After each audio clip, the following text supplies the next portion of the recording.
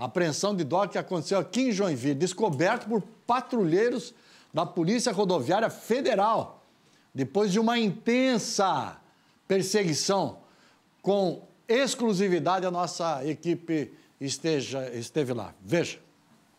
Foi durante uma fiscalização de rotina na BR-101 que a polícia descobriu o carregamento de droga. Os policiais fizeram sinal para ele parar no posto da PRF em Piraberaba. Mas ao invés disso, o motorista acelerou e ainda tentou fugir.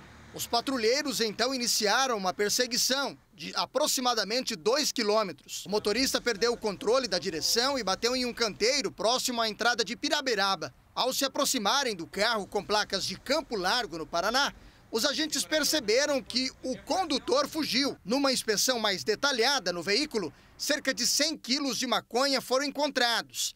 Elas estavam em fardos e tabletes espalhadas em várias partes do carro. Isso aí, a Polícia Rodoviária está sempre trabalhando, fazendo abordagem aqui na frente do posto e trabalhando aí na segurança viária e, e, e ações policiais também. O suspeito de tráfico ainda não foi encontrado. Os agentes também não sabem para onde o entorpecente seria levado. Agora, os patrulheiros devem passar o caso para ser investigado pela Polícia Civil de Joinville. Neste ano, a PRF apreendeu só em Santa Catarina, em rodovias federais, quase 8 toneladas de maconha.